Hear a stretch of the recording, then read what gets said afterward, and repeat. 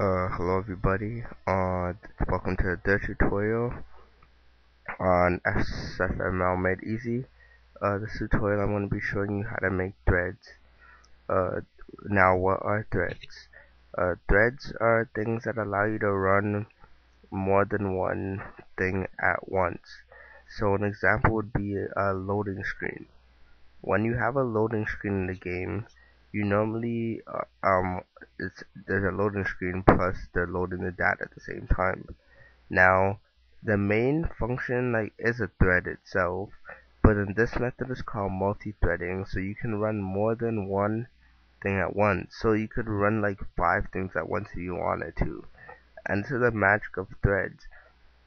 The thing is that you don't want to use threads as um you want to use threads as least times you can because they can cause problems, right? But are mainly used when you're like loading a game or like when you're doing an item menu or something in a game and you want something else to go on in the background. Like that's the type that's what threads are mainly used for in games. So uh let's get started. Um uh let me zoom in here.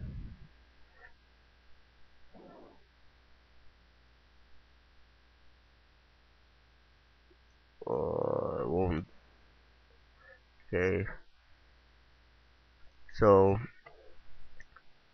this time we're going to be including the IO stream. And you can um you can put using namespace std if you want but I'm not gonna do it. And I'm putting SFML graphics um, for the thread function and our main function.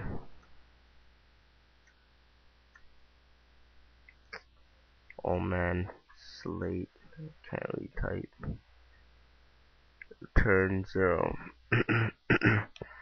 So oh man so now we're gonna be creating a function.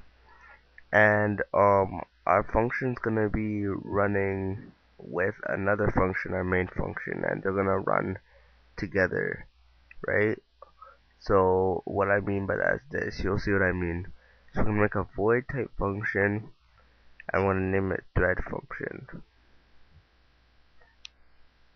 And in the parameters, we're going to name a void type and name it whatever you want. And in the tutorials, they put user data, so we'll just put user data. Doesn't matter what you put there. And now we're going to be putting a for loop. And we're gonna set it to equal to zero. And so we're gonna make a loop 10 times you can see. If you don't know what I'm doing then look at the basics.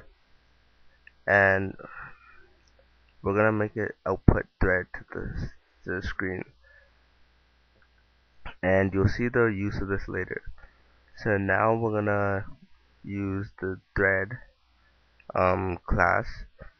And um, so then it's basically you define it with the SF namespace colon colon thread like we always do and we're gonna name it thread.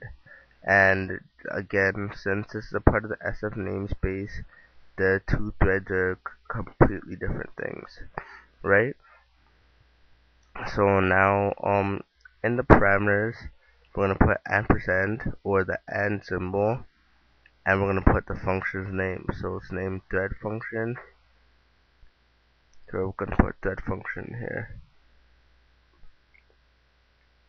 And um basically since this is the asterisk symbol it's basically a pointer.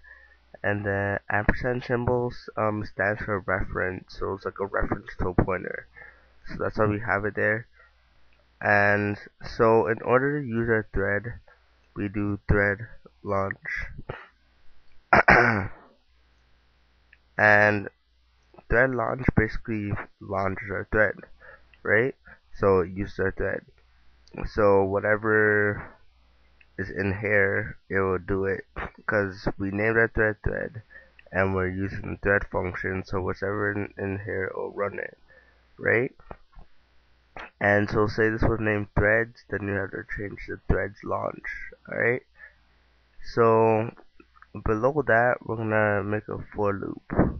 Another for loop identical to the one in the thread function. So less than 10 i plus plus and std and then this time I'm going to say main. Alright and that's basically it. So then now if we run our program uh, let's see what we get. So first time we get this I always normally get that first time and then look at this. So what do we have here? Well what a thread does is running two things at once so even though we got two for loops even though the for loops are supposed to run until they finish they're running two for loops at the exact same time so then it ran the main for loop twice, then it ran the thread one, then it ran two, it ran three main, then a thread. And because they're on the same line, it means it ran at the exact same time, right? And the reason why it's like this is um called it's asynchronous asynchronously. Um, whenever it's ready, spit it out. So then when the main class is ready, it will spit out um, the word main, and because it was ready twice before thread, it spit out main twice.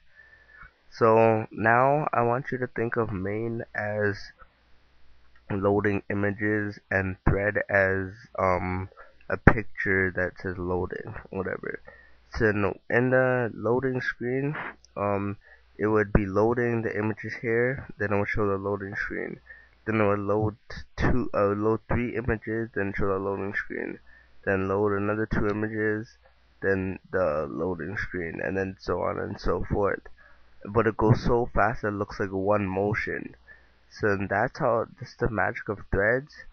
But in, say you don't want threads to move like that. Like say you have a bunch of threads and you want um one thread to finish then the next one to start.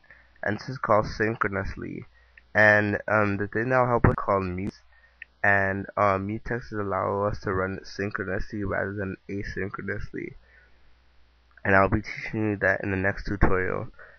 Um, and one thing to note do not use threads unless you absolutely need them because they can result in problems. Um, which I'll state in my next video. Um, so thanks for watching and bye